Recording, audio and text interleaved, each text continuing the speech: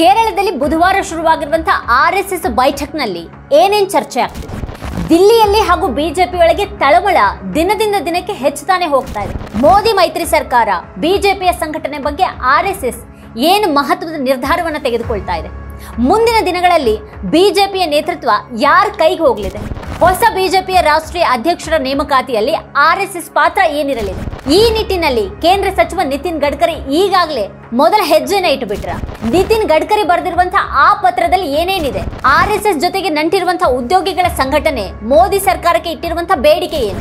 ಇವೆಲ್ಲ ಒಟ್ಟಿಗೆ ಮೋದಿ ಹಾಗೂ ಅಮಿತ್ ಶಾಗೆ ತಂದಿಟ್ಟಿರುವಂತಹ ಆತಂಕಗಳೇನು? ಈ ಬಗ್ಗೆ ಹಿರಿಯ ಪತ್ರಕರ್ತ ಪುಣ್ಯ ಪ್ರಸೂನ್ ವಾಜಪೇಯಿ ಅವರು ತಂದಿರುವಂತಹ ಪ್ರಮುಖ ಮಾಹಿತಿ ಹಾಗೂ ವಿಶ್ಲೇಷಣೆಯನ್ನ ನಿಮ್ ಮುಂದಿಡ್ತಾ ಇದೀವಿ. ನೀವಿನ್ನೂ ನಮ್ಮ ಚಾನೆಲ್ನ ಸಬ್ಸ್ಕ್ರೈಬ್ ಮಾಡಿಲ್ಲ ಅಂತ ಅಂದ್ರೆ ಈಗಲೇ ಈ ವಿಡಿಯೋ ಕೆಳಗೆ ಕಾಣ್ತಾ ಇರುವಂತಹ ಸಬ್ಸ್ಕ್ರೈಬ್ ಬಟನ್, ಹಾಗೆ ಪಕ್ಕದಲ್ಲಿರುವಂತಹ ಬೆಲ್ ಐಕಾನ್ನ ಪ್ರೆಸ್ ಮಾಡಿಬಿಡಿ. ಈಗ ವಿಷಯಕ್ಕೆ ಬರೋಣ. ದಿಲ್ಲಿ ರಾಜಕಾರಣದಲ್ಲಿ ಮಹತ್ತರ ಬದಲಾವಣೆಯ ಸುಳಿವುಗಳು ಕಾಣ್ತಾ ಇವೆ. ಬಿಜೆಪಿಯೊಳಗೆ ಜೋರಾಗಿ ಈಗ ತಳಮಳ ಶುರುವಾಗಿದೆ. ಬಿಜೆಪಿಯ ವಿಚಾರದಲ್ಲಿ ಆರ್ ಎಸ್ ಎಸ್ ಬಹಳ ಗಂಭೀರ ಯೋಚನೆಗೆ ತೊಡಗಿರೋದು ನಡೆದಿದೆ. ಇದೆಲ್ಲದರ ಬಗ್ಗೆ ಬಹುಶಃ ಮೋದಿ ಟೀಮ್ ಯೋಚನೆಯನ್ನಾದ್ರೂ ಮಾಡಿತ್ತೋ ಇಲ್ವೋ? ಆದರೆ ಕೇರಳದಲ್ಲಿ ಶುರುವಾಗಿರುವಂತಹ ಆರ್ ಎಸ್ ಎಸ್ ಬೈಠಕ್ ಮೋದಿ ಟೀಮ್ಗೆ ಆತಂಕ ತಂದಿಟ್ಟಿರೋದಂತೂ ನಿಜ. ಮುಂದಿನ ದಿನಗಳಲ್ಲಿ ಬಿಜೆಪಿಯ ನೇತೃತ್ವ ಯಾರ ಕೈಗೆ ಹೋಗಲಿದೆ? ಹೊಸ ಬಿಜೆಪಿ ರಾಷ್ಟ್ರೀಯ ಅಧ್ಯಕ್ಷರ ನೇಮಕಾತಿಯಲ್ಲಿ ಆರ್ ಎಸ್ ಎಸ್ ಪಾತ್ರ ಏನಿರಲಿದೆ ಅನ್ನುವಂಥ ವಿಚಾರಗಳೆಲ್ಲ ಬಹಳ ಮಹತ್ವವನ್ನು ಪಡೆದಿವೆ. ಒಂದು ಕಡೆ ಉತ್ತರ ಪ್ರದೇಶದಲ್ಲಿ ಆದಿತ್ಯನಾಥ್ ಕುರ್ಚಿಯನ್ನು ಅಲುಗಾಡಿಸುವಂಥ ಯತ್ನಗಳು ದೆಹಲಿ ಕಡೆಯವರಿಂದ ಆಗ್ತಾ ಇರುವಾಗ, ಇನ್ನೊಂದು ಕಡೆ ಅದನ್ನು ತಡೆಯುವಂಥ ಶಕ್ತಿಯೂ ಕೂಡ ಸಕ್ರಿಯವಾಗಿದೆ. ಇದೆಲ್ಲದರ ನಡುವೆ ದೇಶವನ್ನ ಕಾಡ್ತಾ ಇರುವಂತಹ ಆರ್ಥಿಕ ಸಂಕಟವನ್ನ ಬಗೆಹರಿಸೋರು ಯಾರು? ಹಣಕಾಸು ಸಚಿವೆ ಅಂತೂ ವಿಕಸಿತ ಭಾರತ್ ಮಂತ್ರವನ್ನ ಹೇಳ್ತಾ ಇದ್ದಾರೆ. ಆದ್ರೆ ಈಗ ಜನಸಾಮಾನ್ಯರು ಎದುರಿಸ್ತಾ ಇರುವಂತಹ ಸಮಸ್ಯೆಗಳು, ಸವಾಲುಗಳಿಗೆ ಎಲ್ಲಿದೆ ಉತ್ತರ? ಮೋದಿ ಸಂಪುಟದಲ್ಲಿ ಮಂತ್ರಿಯೂ ಆಗಿರುವಂತಹ ಹಿರಿಯ ಬಿಜೆಪಿ ನಾಯಕ ನಿತಿನ್ ಗಡ್ಕರಿ ನಿರ್ಮಲಾ ಸೀತಾರಾಮನ್ ಅವರಿಗೆ ಪತ್ರ ಬರೆದಿದ್ದಾರೆ. ಜೀವ ವಿಮೆ ಮತ್ತು ವೈದ್ಯಕೀಯ ವಿಮೆ ಕಂತುಗಳ ಮೇಲೆ ವಿಧಿಸಿರುವಂತಹ ಶೇಕಡ ಹದಿನೆಂಟು ಜಿಎಸ್ಟಿಯನ್ನು ತೆಗೆದುಹಾಕುವಂತೆ ಪತ್ರದಲ್ಲಿ ಗಡ್ಕರಿ ಅವರು ಒತ್ತಾಯ ಮಾಡಿದ್ದಾರೆ. ಆರ್ ಎಸ್ ಎಸ್ ಜೊತೆಗೆ ನಂಟಿರುವಂತಹ ಉದ್ಯೋಗಿಗಳ ಸಂಘಟನೆ ಕೂಡ ಅದೇ ಬೇಡಿಕೆಯನ್ನ ಮುಂದಿಟ್ಟಿದೆ. ಆರ್ ಎಸ್ ಎಸ್ ಇಲ್ಲದೆ ಸರ್ಕಾರ ಇರೋದು ಕಷ್ಟ ಅನ್ನೋದು ಬಿಜೆಪಿಗೆ ಅನಿಸ್ತಾ ಇರೋ ಹಾಗಿದೆ. ಆರ್ ಎಸ್ ಎಸ್ ಎದುರು ಅದು ಈಗ ಮಣಿದು ನಿಂತಂತಿದೆ.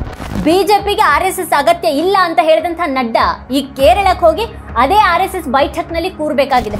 ಎದುರಲ್ಲಿರುವಂತಹ ವಿಧಾನಸಭೆ ಚುನಾವಣೆಗಳ ಬಗ್ಗೆ ರಣತಂತ್ರ ಬಿಜೆಪಿ ಬಳಿ ಇದೆಯಾ ಇಲ್ವಾ ಅನ್ನೋದು ಈಗ ಹೇಳುವಂತಹ ಬಹಳ ಮುಖ್ಯವಾದಂತಹ ಪ್ರಶ್ನೆ ಆಗಿದೆ ಚುನಾವಣೆಗಳ ವಿಚಾರದಲ್ಲಿ ಆರ್ ಎಸ್ ಎಸ್ ವಹಿಸಲಿರುವಂತಹ ಪಾತ್ರ ಏನಿರಬಹುದು ಮತ್ತದು ಯಾವ ರೂಪದಲ್ಲಿ ಅದನ್ನ ನಿರ್ವಹಿಸಬಹುದು ಅನ್ನುವಂಥ ಪ್ರಶ್ನೆ ಕೂಡ ಇದೆ. ಮತ್ತದನ್ನ ಬಿಜೆಪಿ ಒಪ್ಕೊಳ್ಳುತ್ತೋ ಇಲ್ವೋ? ಆದ್ರೆ ಆರ್ ಎಸ್ ಎಸ್ ಆಟ ಆಗಲೇ ಸರ್ಕಾರದೊಳಗೆ ಶುರುವಾಗ್ಬಿಟ್ಟಿದೆ ಅನ್ನೋದಕ್ಕೆ ರಾಜ್ಯಸಭೆಯಲ್ಲಿ ಉಪರಾಷ್ಟ್ರಪತಿ ಧನ್ಕರ್ ಅವರು ಆರ್ ಎಸ್ ಎಸ್ನ ಹಾಡಿ ಹೊಗಳಿರೋದೇ ಸಾಕ್ಷಿ. ಈ ದೇಶದ ಅಭಿವೃದ್ಧಿಯಲ್ಲಿ ಪಾಲ್ಗೊಳ್ಳೋದಕ್ಕೆ ಆರ್ ಎಸ್ ಎಸ್ಗೆ ಪೂರ್ತಿ ಸಾಂವಿಧಾನಿಕ ಹಕ್ಕಿದೆ ಅಂತ ಹೇಳಿದ್ದಾರೆ. ದೇಶದ ವಿಕಾಸದಲ್ಲಿ ಆರ್ ಎಸ್ ಎಸ್ನದ್ದು ಸಮಾನ ಕೊಡುಗೆಗಳಿವೆ ಅಂತ ಹೇಳಿದ್ದಾರೆ Dhankhar. Member is speaking within the rules I should not intervene I agree with that but here the member was not transgressing rules. He was trampling the constitution of India. For this reason, an organization I have said is fully entitled.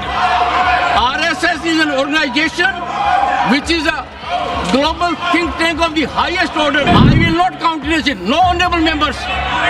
This is violation of the constitution. We have to believe in the constitution. Every organization ಯಾಕೆ ಧನ್ಕರ್ ಸದನದೊಳಗೆ R S S ವಿಚಾರವನ್ನ ತಂದು ಹೊಗಳೋದಿಕ್ ಶುರು ಮಾಡಿದ್ರು? ಆದ್ರೆ ಅಗತ್ಯ ಏನಾದ್ರೂ ರಾಜ್ಯಸಭೆಯೊಳಗೆ ಇತ್ತ? ಇನ್ನೊಂದ್ ಕಡೆ ಸರ್ಕಾರ ಕೂಡ ಆರ್ ಎಸ್ ಎಸ್ ಅನ್ನ ಖುಷಿಯಾಗಿರಿಸೋದಕ್ಕೆ ಕೆಲಸ ಮಾಡ್ತಾ ಇದೆ.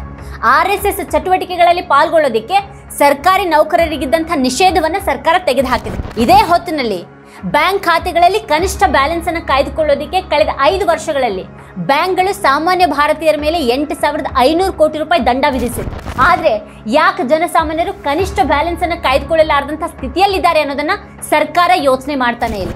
ನಿಮ್ಮ ಸರ್ಕಾರದ ಆರ್ಥಿಕ ನೀತಿಗಳಿಂದ ಜನ ರೋಸ್ ಹೋಗಿದ್ದಾರೆ. ಅವರು ಸಂಕಷ್ಟಕ್ಕೆ ಸಿಲುಕಿದ್ದಾರೆ. ಇದಕ್ಕೇನ್ ಮಾಡ್ತೀರಿ ಅಂತ ಆರ್ ಎಸ್ ಎಸ್ ಈಗ ಮೋದಿ ಹಾಗೂ ಬಿಜೆಪಿಯನ್ನ ಕೇಳೋದಿಕ್ ಶುರು ಮಾಡಿದೆ. ನೀವು ನಿಮ್ಮ ಆರ್ಥಿಕ ನೀತಿಗಳನ್ನ ಬದಲಾಯಿಸಬೇಕಾಗಿದೆ. ಇಲ್ಲದಿದ್ರೆ ಇಂಡಿಯಾ ಒಕ್ಕೂಟದ ರಾಹುಲ್ ಗಾಂಧಿ, ಅಖಿಲೇಶ್ ಯಾದವ್ ಅವರ ತೀಕ್ಷ್ಣ ಪ್ರಶ್ನೆಗಳನ್ನ ಎದುರಿಸೋದು ನಿಮಗೆ ಸಾಧ್ಯವಾಗದು ಅಂತ ಆರ್ ಎಸ್ ಎಸ್ ಈಗ ಬಿಜೆಪಿಗೆ ಹೇಳ್ತಾ ಇದೆ. ಮೋದಿ ಸರ್ಕಾರದ ಆರ್ಥಿಕ ನೀತಿಗಳಲ್ಲಿ ಜನಸಾಮಾನ್ಯರಿಗೆ ಸಹಾಯವಾಗುವಂತಹ ಗಮನಾರ್ಹ ಬದಲಾವಣೆ ತರದೇ ಇದ್ದಲ್ಲಿ ಬಿಜೆಪಿ ಮುಂದಿನ ದಿನಗಳಲ್ಲಿ ಇನ್ನಷ್ಟು ದೊಡ್ಡ ಹಿನ್ನಡೆಯನ್ನು ಅನುಭವಿಸಲಿದೆ ಅಂತ ಆರ್ ಎಸ್ ಎಸ್ ಎಚ್ಚರಿಸ್ತಾ ಇದೆ. ಮುಂಬೈಯ ಬಾಂದ್ರಾ ವಾರ್ಸೋ ವಾರ್ಸ್ ಲಿಂಕ್ ಕುರಿತ ವರದಿಯನ್ನೇ ನೋಡಿ. ಎರಡ್ ಸಾವಿರದ ಹದಿನೆಂಟರಲ್ಲಿ ಹನ್ನೊಂದು ಸಾವಿರ ಕೋಟಿ ಖರ್ಚು ಅಂತ ಅನುಮೋದನೆ ಪಡೆದಂಥ ಈ ಯೋಜನೆ ಈಗ ಹದಿನೆಂಟು ಸಾವಿರ ಕೋಟಿ ಖರ್ಚಾಗಲಿದೆ ಅನ್ನೋವಳಿಗೆ ಬಂದು ನಿಂತಿದೆ ಇದು ಈ ಸರ್ಕಾರ ದೇಶಾದ್ಯಂತ ಎತ್ಕೊಂಡಿರುವಂಥ ಬೃಹತ್ ಯೋಜನೆಗಳಲ್ಲಿ ಒಂದು ಮಾತ್ರ. ಇದರಲ್ಲಿ ಈಗ ಏಳು ಸಾವಿರ ಕೋಟಿ ರೂಪಾಯಿ ಹೆಚ್ಚುವರಿ ಖರ್ಚು ಅಂತ ವರದಿಯಾಗಿದೆ. ಒಂದು ಕಡೆ ಬ್ಯಾಂಕ್ಗಳಲ್ಲಿ ಕನಿಷ್ಠ ಬ್ಯಾಲೆನ್ಸ್ ಅನ್ನ ಇಡೋದಕ್ಕೆ ಹೆಣಗಾಡ್ತಾ ಇರುವಂತ ದೇಶದ ಜನಸಾಮಾನ್ಯರು, ಇನ್ನೊಂದು ಕಡೆಗೆ ಸರ್ಕಾರದ ಇಮೇಜ್ ಹೆಚ್ಚಿಸುವಂತ ಯೋಜನೆಗಳಿಗೆ ಸಾವಿರಾರು ಕೋಟಿ ಕೋಟಿ ಹೆಚ್ಚುವರಿ ಖರ್ಚು. ಇದು ಯಾವ ರೀತಿಯ ಆಡಳಿತ ಅಂತ ಆರ್ ಎಸ್ ಎಸ್ ಕೇಳೋದಕ್ಕೆ ಶುರು ಮಾಡಿದೆ.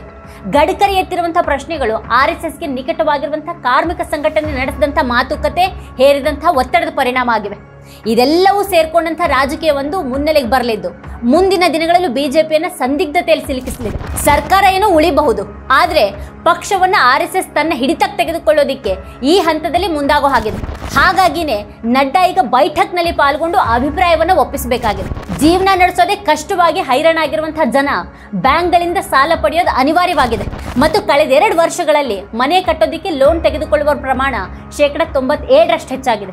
ಕ್ರೆಡಿಟ್ ಕಾರ್ಡ್ ಮೂಲಕ ಸಾಲ ಮಾಡುವವರ ಪ್ರಮಾಣ ಅರವತ್ತಾರು ಪರ್ಸೆಂಟ್ ಹೆಚ್ಚಾಗಿದೆ. ಶಿಕ್ಷಣಕ್ಕಾಗಿ ಲೋನ್ ತೆಗೆದುಕೊಳ್ಳುವವರ ಪ್ರಮಾಣ ನಲವತ್ನಾಲ್ಕು ಪರ್ಸೆಂಟ್ ಹೆಚ್ಚಾಗಿದೆ. ಗೋಲ್ಡ್ ಲೋನ್ ತೆಗೆದುಕೊಳ್ಳುವವರ ಪ್ರಮಾಣ ಮೂವತ್ತೇಳು ಪರ್ಸೆಂಟ್ ಹೆಚ್ಚಾಗಿದೆ.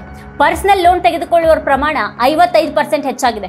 ಮನಮೋಹನ್ ಸಿಂಗ್ ಅವರ ಅಧಿಕಾರಾವಧಿಯಲ್ಲಿ ಮೂಲ ಸೌಕರ್ಯ ಅಭಿವೃದ್ಧಿಗೆ ಮಾತ್ರನೇ ಗಮನ ಕೊಡಲಾಗಿತ್ತು.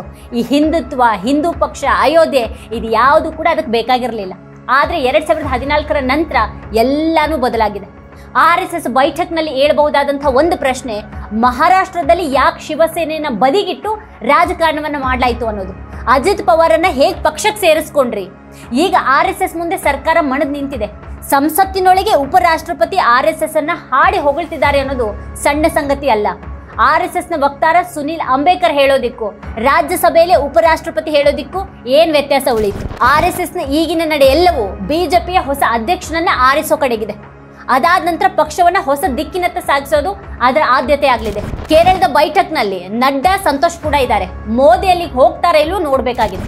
ಎಲ್ಲವೂ ನಡೆದು ಸರ್ಕಾರದ ತಳಕ್ಕೆ ಬಂದು ಮುಟ್ಟೋದ. ಸರ್ಕಾರ ಉಳಿಸ್ಕೊಳ್ಳೋದಿಕ್ಕೆ ಏನೇ ನಡೆಸಬೇಕಾಗಿ ಬರಬಹುದು. ಸ್ಪಷ್ಟ ಚಿತ್ರಣ ಸಿಗೋದಿಕ್ಕೆ ಇನ್ನೇ ನಮಗೆ ಹೆಚ್ಚು ದಿನಗಳು ಬೇಕಾಗಿಲ್ಲ. ಕಾದ್ ನೋಡೋಣ. ಇದೇ ಈ ಹೊತ್ತಿನ ಸ್ಪೆಷಲ್ ನೋಡ್ತಾ ಇರಿ ವಾರ್ತಾ ನೀವಿನ ವಾರ್ತಾಭಾರತಿ ವಾರ್ತಾ ಭಾರತಿ ಯೂಟ್ಯೂಬ್ ಚಾನಲ್ಗೆ ಸಬ್ಸ್ಕ್ರೈಬ್ ಆಗಿಲ್ಲ ಅಂತ ಈ ಕೂಡಲೇ ಸಬ್ಸ್ಕ್ರೈಬ್ ಆಗಿ ಹಾಗೆ ಅಲ್ಲೇ ಪಕ್ಕದಲ್ಲಿರುವಂಥ ಬೆಲ್ ಐಕಾನ್ನ ಪ್ರೆಸ್ ಮಾಡಿ ನಮ್ಮನ್ನು ಬೆಂಬಲಿಸಿ.